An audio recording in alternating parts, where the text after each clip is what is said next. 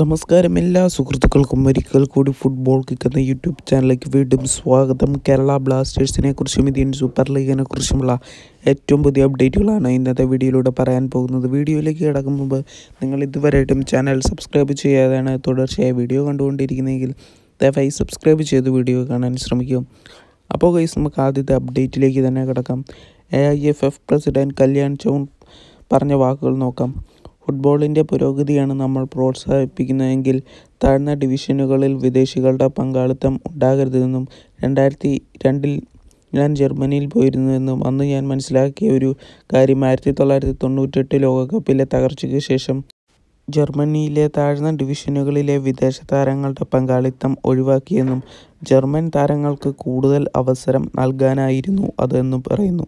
ഇന്ത്യയിലെ താഴ്ന്ന ഡിവിഷനുകളിൽ ഒരു വിദേശ താരം പോലും വേണ്ട എന്നും എന്റെ കാഴ്ചപ്പാട് ഇതാണെന്നും എക്സിക്യൂട്ടീവ് കമ്മിറ്റിക്ക് മുന്നിൽ ഞാൻ ഇക്കാര്യം പറയും. അത് സ്വീകരിക്കുമോ വേണ്ടയോ എന്ന് കമ്മിറ്റി തീരുമാനിക്കുമെന്നും A I F F president ഇപ്പോൾ പറഞ്ഞിരിക്കുകയാണ്.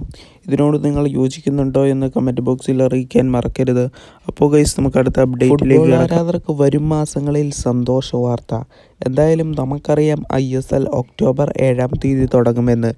അതേപോലെ തന്നെ ഐ ലീഗും ഒക്ടോബർ ഇരുപത്തി ഒമ്പതിന് ആരംഭിക്കും എന്നാണ് ഇപ്പോൾ നിലവിൽ വരുന്ന ന്യൂസ്. എന്തായാലും ഐ ലീഗ് ആരാധകർക്കും ഐ എസ് എൽ ആരാധകർക്കും ഇനി നീണ്ട ഫുട്ബോൾ മത്സരങ്ങൾ കാണാൻ സാധിക്കും. അതേപോലെ തന്നെ അതിന് പുറമെ ഖത്തർ ലോകകപ്പും വരുന്നുണ്ട്. എന്തായാലും ഖത്തർ ലോകകപ്പ് നിങ്ങൾ ഏത് ടീമിനെയാണ് പ്രോത്സാഹിപ്പിക്കുന്നതെന്ന് കമന്റ് ബോക്സിൽ അറിയിക്കാനും മറക്കരുത്.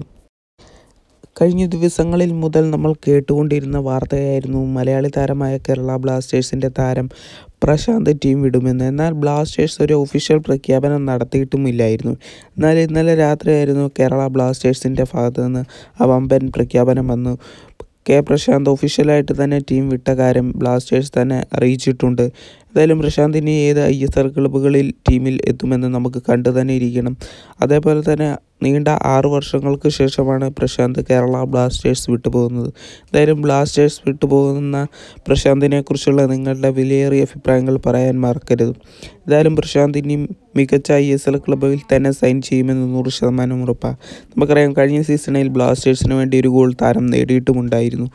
അപ്പം മച്ചമറ്റ നമുക്ക് അടുത്ത അപ്ഡേറ്റിലേക്ക് കിടക്കാം. അടുത്ത അപ്ഡേറ്റ് നോക്കുകയാണെങ്കിൽ രണ്ടായിരത്തി പതിനേഴ് പതിനെട്ട് സീസണുകളിൽ ഏഴ് മത്സരങ്ങൾ കേരള ബ്ലാസ്റ്റേഴ്സിന് വേണ്ടി കളിച്ച ഗോൾ കീപ്പറായിരുന്നു സുഭാഷിഷ് റോയ് ചൗധരി. എന്തായാലും താരം ഈ സീസണിൽ ഐ എസ് എൽ കളിക്കില്ല എന്നാണ് നിലവിൽ വരുന്ന ന്യൂസ്. ഐ ലീഗിലെ ഒരു ക്ലബിൽ താരം സൈൻ ചെയ്തിരിക്കുകയെന്നാണ് ഇപ്പോൾ വരുന്ന ന്യൂസ്.